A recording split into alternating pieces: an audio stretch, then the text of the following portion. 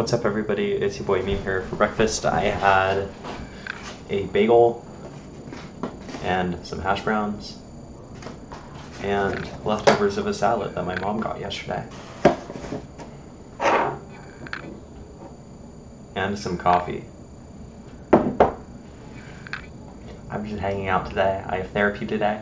Tomorrow, we're going to Olive Garden and I'm getting a haircut and I'm bringing my jeans to the tailor. There's a hole in my jeans, but it's invisible when I'm wearing them.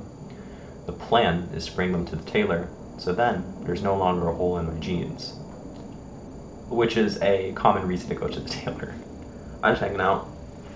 Um, this upcoming week is kind of the last week of work work I'm gonna have to do for school, um, and then it's just gonna be finals prep. So, yeah, it'll be cool though because the final is gonna be like the A plus certification and um, fiber optic certification, which I can't lie, I'm not super confident in my fiber optics one, but my A plus one I'm pretty confident in. I'll take the tests and stuff, and you know I'll study, but you know I'm I'm, I'm confident I'll do okay.